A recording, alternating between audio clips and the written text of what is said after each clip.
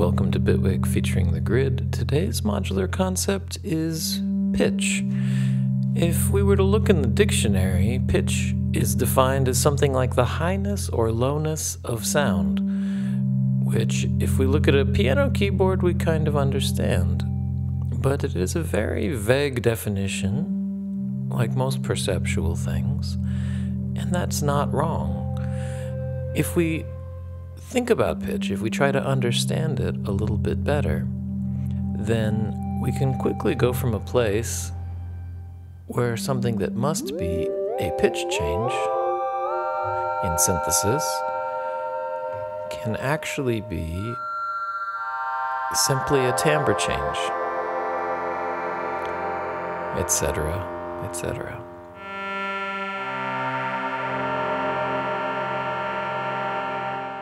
So let's dive in and look at some of the ways that pitch works for us and a better understanding of it in general.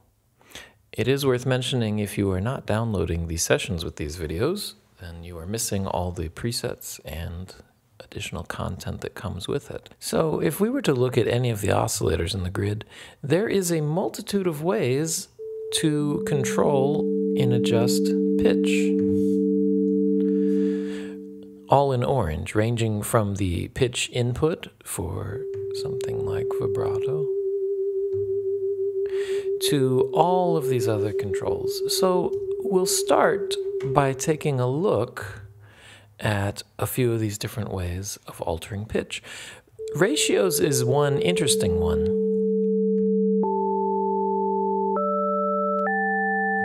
Like we swept through the harmonic series at the beginning of this video, the ratio is allowing us to go at even intervals. So now anything coming in, uh, taking the keyboard signal, is multiplied by 4, which puts it two octaves above this bass oscillator that we're seeing. We could, of course, go further. 4 to 8, that's another octave. Remember, octaves are doublings of frequency, down to 2 or even below if we wanted to turn it into a different kind of fraction. So that's an off, awfully handy way of setting a relationship between two oscillators very quickly. Uh, something we're noticing here, uh, like I referred to the keyboard tracking going on, that can actually be disabled here. So now for every pair that we play, one will be tuned at the base frequency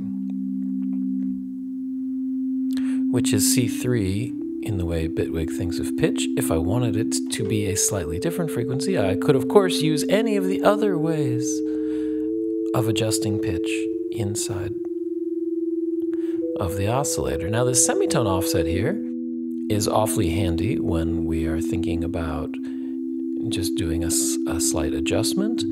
If we were even more slight, however, to go for like a beating, that can be handy as well, and it's nice to see these outright. The one thing about semitones, however, is that they're going to be different in different octaves. So if I were to play a higher note, its speed is very different than the beating that occurs in a lower octave. And that is one reason why it is very handy to have the linear Hertz offset. So now if I make a, a pitch slightly higher or lower, as these are going by, regardless of what octave I'm in, it will be a constant beating, a constant speed.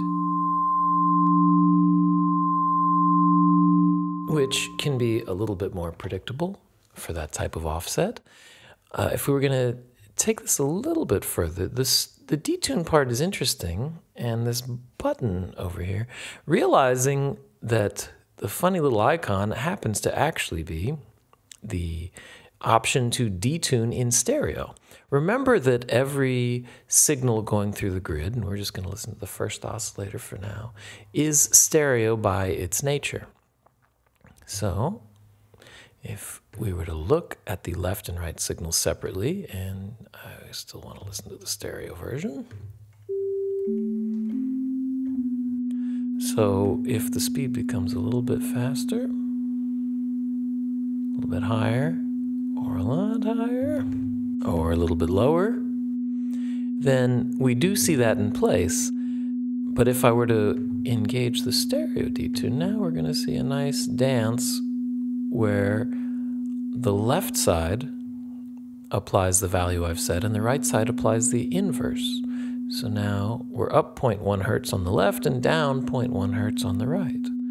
And it is nice to see this visual. While we're talking about pitch living everywhere, it's worth a small note that even on the oscilloscope, the fact that this pitch mode is the default means it is listening to the notes played into the device and tuning the the size of the oscilloscope to match that pitch, which is why we were at a nice locked picture. And at the same time, we're seeing the up and down because of the detune that's applied after that fact.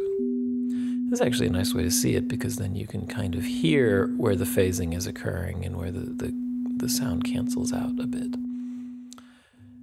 So, those are the ways of adjusting pitch directly inside of any oscillator in the grid. Filters have some of these similar settings.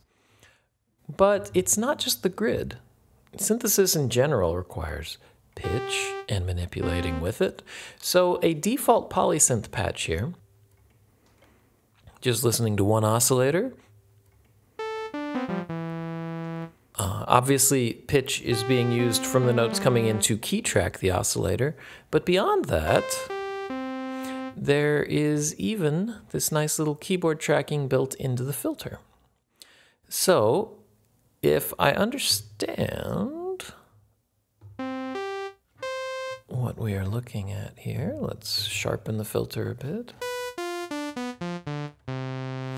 Now, at 100% key tracking, the filter cutoff is following the pitch as it comes in directly. It's using it as one of the control signals. Um, if we were to reset the filter frequency and realize anything in a frequency level, I could set in as a note value. Like we said a minute ago, C3 is the default center or zero position of pitch in Bitwig. So if I were to start there, now, the regardless of what note I play, the cutoff frequency will be tuned exactly, which we can see by boosting the resonance, at the fundamental frequency. If I wanted to try that a little bit differently, I could type this in again and maybe type in the value one octave up. And now we've got the emphasis on the first harmonic, which is an octave up.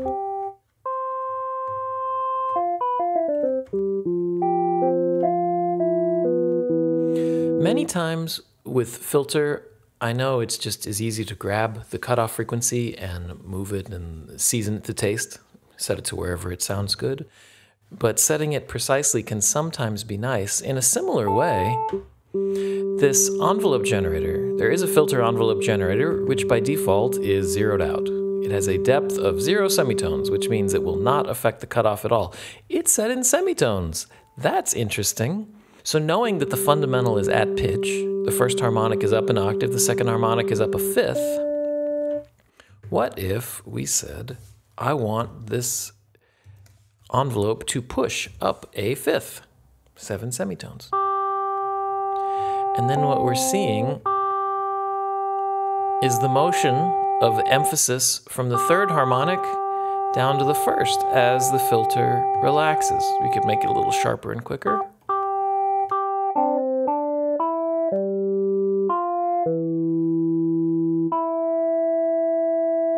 So for our twist, if we were to disable the filter on polysynth, and maybe come back to the grid, but with effects grid this time. Again, the default patch is just a patch cord, nothing is changing. But it's worth remembering that keyboard signals in Bitwig are passed beyond the instrument. They reach all signals down the line. If you are on an instrument track, all the notes played will be received by the processing devices as well. Effects grid is like that, hence the keyboard tracking amount control here. So if I were to set this fairly narrowly, let's turn off keyboard tracking. And we see there's a fixed peak here because the filter is not moving since we are not animating it or using its cutoff input as control.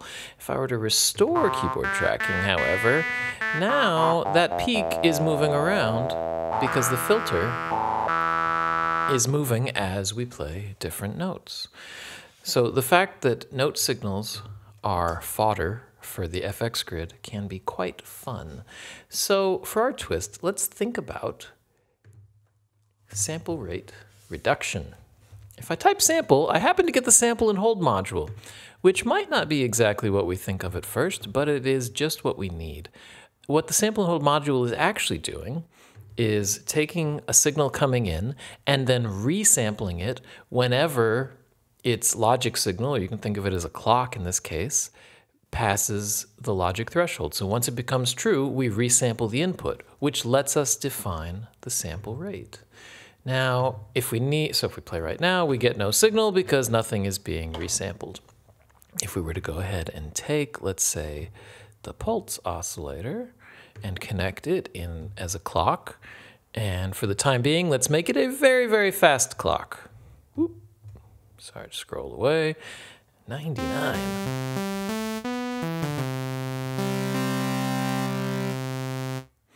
Sounds pretty good so far. The point being this is a pitch tracked oscillator.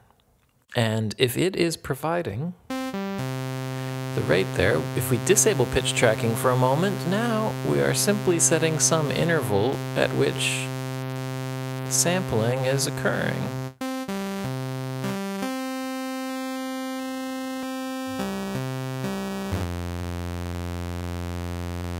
So you can start hearing the aliasing and the results of sample rate reduction. Now, it's all fixed. Since this is two octaves up from the default pitch, I can tell you this would be C5. So around C, I'm going to get nice notes. Everything else is going to be a little bit crispy because the sample rate is set to a friendly C pitch, but not moving. Were I to re-enable re keyboard tracking, however, now, whatever pitch gets played becomes nice and interesting because for the last note played, the clock is retuning itself to the note that was just triggered. Now, as one last parting note, realize that since this is a mono effect, there's only one copy of Effects Grid. Playing multiple notes will be interesting because it will use the pitch of the last note that was played. So even playing those same notes in different order,